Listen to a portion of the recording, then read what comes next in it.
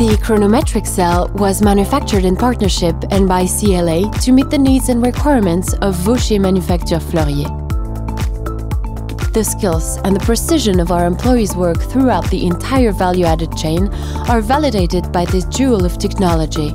Programmed to ensure that the specifications of Vaucher Manufacture Fleurier are respected, our chronometry machine certifies the reliability of our watches and movements impartially. This machine can perform a range of tests over a period of 48 to 60 hours, the traceability of which is guaranteed. The system allows remote logistical monitoring of work in progress.